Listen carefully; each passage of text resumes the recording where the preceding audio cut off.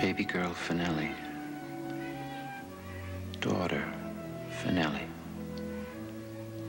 What's your name? Maria. For my mother. Maria Sophia. Maria Sophia Fenelli. Hi, kid. You look like your mother.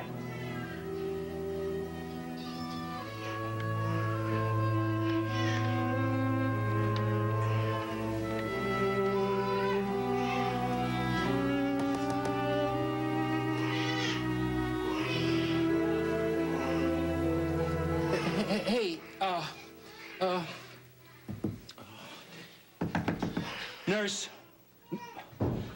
Uh, hey, uh, I, I just got here. I'm sorry, but it's time for Ryan and friends to have a nap. For who? The babies sleep between now and their mid-morning feeding. Yeah, No, no, no. I, I mean, uh, what'd you call her?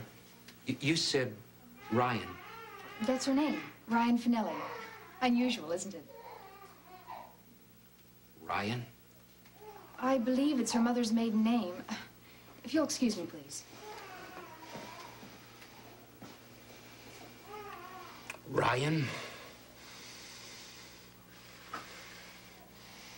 Ryan?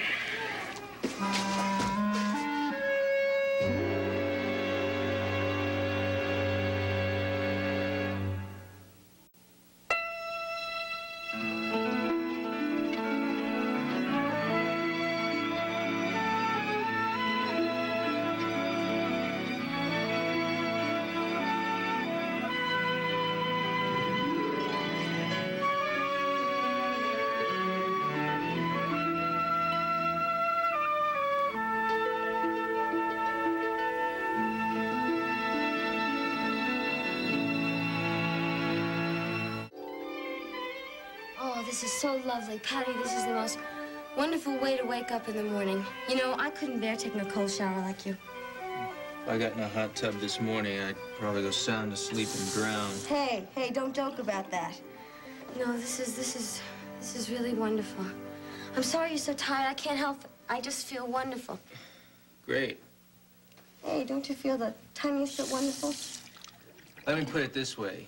If I knew that I was gonna go back to bed to sleep all morning, I would feel wonderful, yeah. So there. You think I'm gonna go back to bed? I'm not gonna go back to bed. I have about a dozen things that I have to do for us. For you. Yeah? Like what? Well, it's mostly what you call wife business. But it's it's really much harder than you think. You know, uh, once you start organizing everything, you know, I looked into the hall closet, and there are all these bags of um, of laundry and shopping bags. I thought you sent the laundry out. No, no. It turns out, turns out that I sent these other shopping bags, and they had all my old clothes and little John's old clothes. See, Maeve has this charity organization, uh, St. Vincent de Paul Society. Well, anyway, they'll come back from the laundry and they'll be uh, cleaned and ironed. Laundry's not going to be back until um, Friday. It won't be here tomorrow. I have to do something about shirts, Dee. Let's see. Shirts. Shirts. Hey, I got a great idea. Okay? Shirts. Okay.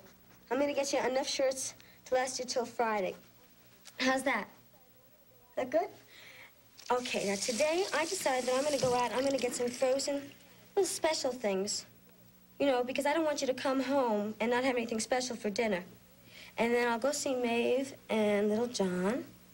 And I'll come home early, nice early dinner, and I'll get to sleep very early so I can wake up and I can be absolutely beautiful for you. Patty? Hmm? When do you get off duty? Maybe not till tomorrow night. Oh. I may have to take over for Clem because he took an extra shift for me last night. Well, are, are you going to be able to take a little nap tomorrow? I doubt it. Why? Well, I found this little Italian restaurant up on Broadway, and I just thought, wouldn't it be fun if we could just sit at a table and hold each other's hands and just look at each other across the table? You know the way you always look at me, right over the glasses? No, I, I didn't know. Uh-huh. And it'd be so nice just you looking at me and being with each other. Doesn't matter how many people are in that restaurant. I'll always feel like it's just, it's just you and me. And see, we'll feel very protected by the dim lights and special food and all those waiters, and it'll be just the two of us. You think I'm crazy? Huh? No. See, Patty, I know there are so many wonderful things that we can do together. Hey, listen. Oh, what's the matter? Mmm, I love that shaving lotion. Give me a kiss. Maybe you've changed your mind. You'd like to get in the bathtub with me. No, what I would like to do is say something to you, and uh, I want you to think about what I'm going to say. Something bad? No, it's uh, something serious, though. Oh, I'm sorry if I did anything wrong. Oh, I'm sorry about that laundry. I really No, am. it's not the laundry. Just listen, okay? Okay. Now, I'm worried because I'm afraid that you're depending on me for things that I can't give you yet. Like what? Well, time mainly, uh, attention, doing things together, sharing things. Wait a minute. Patty, you're my husband, and I think that I'm your husband who has his final year of residency ahead of him at a hospital that's overcrowded and understaffed. Now, it's going to be a little over a year, maybe longer, before I can give you the kind of companionship that you want. I think we both better face that and try to deal with it now, or we're going to be in some trouble. what do you want me to do? Well, that's just it, honey. It's not a question of what I want. No, it is a question of what of what you want. You said that you don't think I'll be able to face not having time with you. Now, you said that I won't be able to deal with it. I don't understand. What do you want? Look, I didn't say no time. What I'm saying is that I won't have enough time or the quality of time to give you what you want right now. And I won't until I'm, I'm through my, my year of residency. So I don't think it's wise of you to, to spend the next year planning your life around my hours off. I think you need something for you. See, that's the reason why we're married. See, we'll have each other for us. Now, honey, don't do that. You know what I'm trying to say. I think you ought to consider um, going back to school, maybe, or or looking for a part-time job, or, or looking around for some volunteer work. Wait a minute. I'm going to have little John take care. You did say that you wanted him to live here. And Frank said, you know, he might let us uh, let him stay over here. Yeah, honey, I do want that, but, but and right what now, about our own babies? You promised that we'd have babies. of course we will, eventually.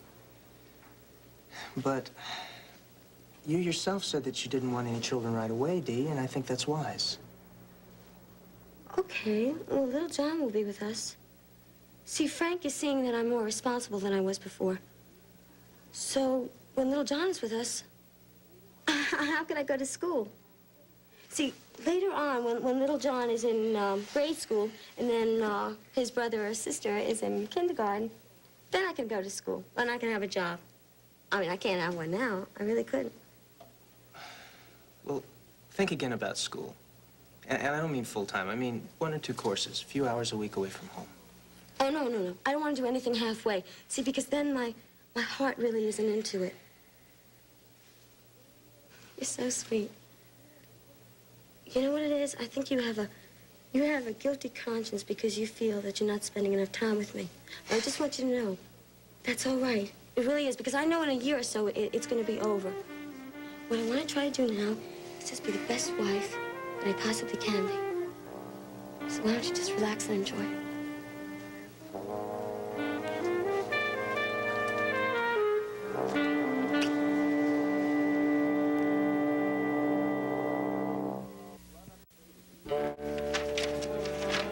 interested in your problems, Wally. I've got plenty of my own, and Mr. Frazier's got more than the two of us put together. Okay, right, you do that.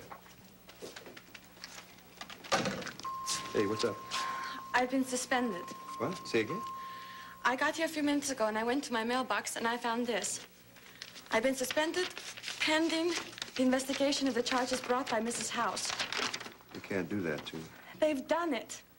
The security officer must have filed his report last night and someone acted on it right away. What do I do now? We can't suspend you without departmental consent. I know Dr. Beaulac hasn't been consulted because he isn't in yet.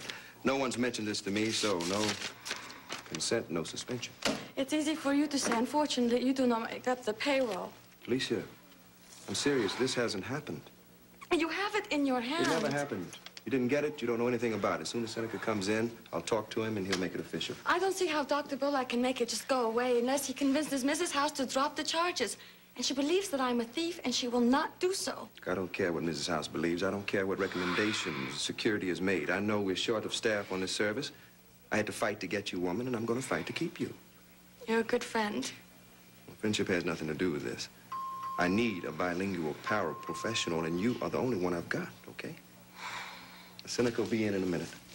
If Miss Hess's house will not drop the charges, and if they continue the investigation, will Dr. Beaulac have a choice? I mean, if it's in the rules that I must be suspended, can he really break those rules? You don't know him very well, do you? He was kind to me when, when my money was stolen, but how am I to know the head of the department? Well, let's say that uh, he likes to have everything his way and no one's inclined to, to argue with him.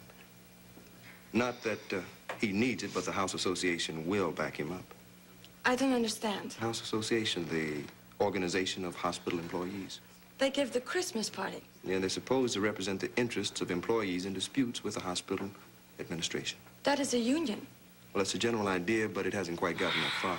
Alicia, how are you feeling?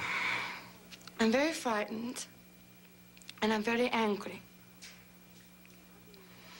Well, I promise you that this is all going to work itself out. How can you promise that? Look, I've worked very many hours, very hard to become a paraprofessional. And I came to your service from work that I liked, from a place where I was known and trusted because I wanted to help.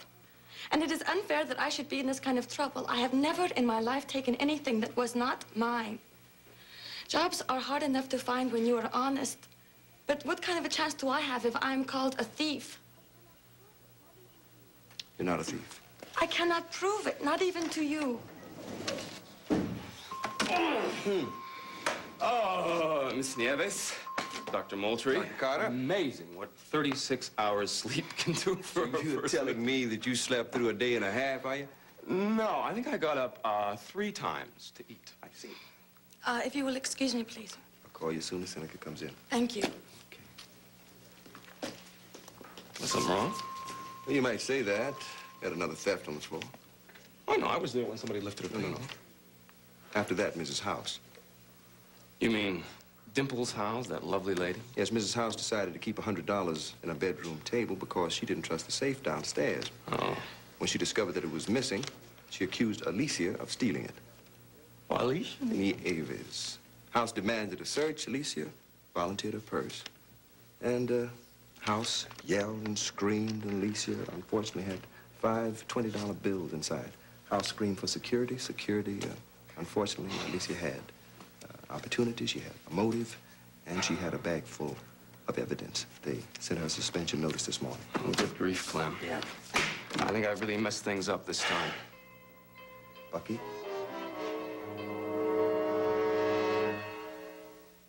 Suppose you're here visiting Mary and your darling daughter, huh? I Made an appointment with Dr. Uh, Marley early so that I wouldn't run into anyone who'd ask me that very question. Oh, dear, you're fresh out of luck. Yep. Well, what did he say? Who? Uh, Dr. Marley. He's as impressed as ever with his own handiwork. I'm fine. Good. Jack, you're not going to leave this building without going to visit Mary and your adorable daughter. That's about it. Oh, now, you could be doing me a great favor, you know, if you take this tour. Because I've got a dozen things to do across the street. Isn't it pretty? It's kind of a private joke between daughter and mother. Years ago, the children, they gave me this great, lovely petunia plant for Mother's Day. And at the time, I remember Mary and Pat were in some sort of a row, and Mary, in a fit of temper, picked it up and just threw it straight at his head, and fortunately missed him. But, of course, there was dirt and petunia all over the, the kitchen floor for days. And the rest of the children, the three of them, were so angry with her. And they made her pay for another one, replace it with her allowance, which took her the entire summer. Course, that gave Patrick great delight. How can you resist my little bits of family history? Come on, Jack. Now take it to her and see your babe. I think uh, both Mary and Ryan will be better off if I don't. Oh, well, where did you hear her name? Place is a big grapevine, wasn't hard to come by. Well, do you know it all? It's Ryan Maeve Fenelli. What do you think? Hmm? Maeve is fine. You don't, um, much care for the Ryan part, eh? It's the whole point, isn't it? Tell Mary that uh, this is one time I didn't let her down. She got just the reaction that she was shooting for. Oh, no, Jack, wait a minute, wait a minute. That was not the whole point. No? Come off it, babe.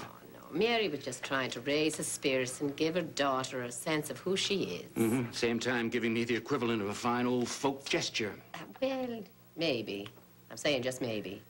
You had it coming to you. Now, if you don't like your daughter's name, why don't you go and tell Mary? Not on your life. You know, it's not too late to change. it. Yeah, well, it's too late for a lot of things between Mary and me, including a round of what are we going to name the baby.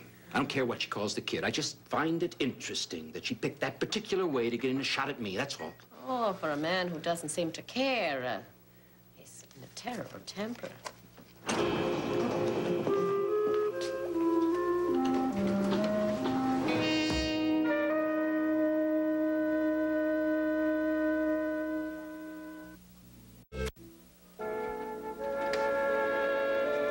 Ah, well, there's another one accounted for. Uh, Frank came and had some breakfast, and I just left Mary sitting up in bed planning her daughter's college education. Gotta try and go down and see her sometime this morning. Oh, lordy, lordy, you're looking mighty exhausted. Oh, you should have seen me before I got eight hours of sleep. Eight hours, eh? Well, maybe not quite eight, more like six. After how long on duty, huh? Oh, Ma, who knows? One day and night just blends right into the next. I don't even know what month it is. June, just barely. Okay, I'll try and remember. Did you see your father? Uh, yeah, Mr. DeBoki's truck stalled. He went to jump the batteries. Oh. Did you stay around to tell me that, or you have something else on your mind? Something else. Ah? I need some help. Well, tell me. I'll do what I can. It's Delia. Oh. Yeah, it's nothing new. Uh, nothing that we didn't anticipate, but uh, just doesn't seem to be enough time to get everything done that needs to be done. What would that be? Well, I think it's time now for Dee to start finding out who she is, what she wants, beyond me, outside of us. I could help her do that. I could try encouraging her to let go a little bit. If I could work on it a little bit every day, but I just don't have the time. Most of my off-duty hours are, are spent in psychological maintenance. You know, reassuring her that, that I love her, that I mean it when I say I'm not going to leave, that, that will make the marriage work. Well, have you shown any progress? Well, sure, some, but she's focusing everything on me. She won't make any plans. She doesn't want to be interested in anything that I don't share. And it's going to be a long time before I'm free enough to do that. Oh, indeed it is. I mean, next year I'll be spending two-thirds of my life over at the hospital. Yes, and the other third should be spent sleeping. Well, I'm willing to compromise half of the one-third to sleep, the other half to D. but right now she's spending two-thirds of her life waiting for me to come home to entertain her, Ah, yes, which is the reason you only had six hours sleep last night. more or less. Well, are you asking me to uh, spend more time with her? Uh, not necessarily. I just need your advice on something. Anything that, outside the apartment, to get her interested in. Well, darling, there's an answer ready-made. Little John, All right. well, I know that she wants him to come live with us as soon as Frank allows it and she can get court consent. But until then, Oh, Pat, I hope you don't think I've been trying to stand in between Didi and her son. no, I know you haven't. I, I didn't mean to suggest that you had. I've just been waiting, as it were, for the honeymoon to be over. I mean, I think it's as important for little John as it is for Dee for the two of them to spend time together. I mean, misses her terribly. Well, I think it may be time now. You think um, Frank would mind if you brought little John over to the apartment for a little while this afternoon? Oh, dear. I mean, she's the child's mother, for heaven's sake. She isn't, um, well, you know what I mean. I mean, she's not upset about anything, is Oh, no tears, no temper tantrums, no formless fears. Well, I'll think about it then. I mean, I can't imagine in the world why she couldn't take him to the park. Okay, thanks, Mom. See ya.